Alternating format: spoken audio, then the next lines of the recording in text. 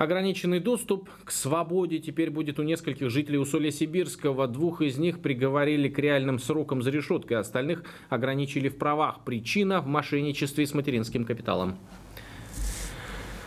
Обмануть людей и государство предприимчивым усольчанам удалось на 36 миллионов рублей. Преступная работа с сертификатами была поставлена на широкую ногу с привлечением помощников, объявлениями в СМИ и социальных сетях по всему региону.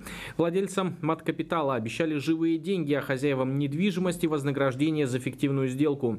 Желающих поучаствовать в криминальной схеме среди наших земляков нашлось немало. Следователи насчитали почти 50 преступных эпизодов.